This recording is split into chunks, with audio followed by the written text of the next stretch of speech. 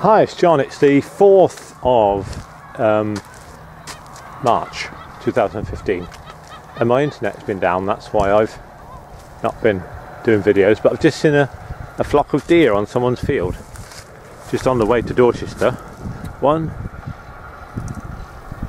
uh, one, two, three, four, five, six, seven, eight, nine, ten. Ten deer. Now, how can I find it on the viewfinder? That's the thing. Uh, oh, there they are. I see now. You wouldn't want them on your crop, would you?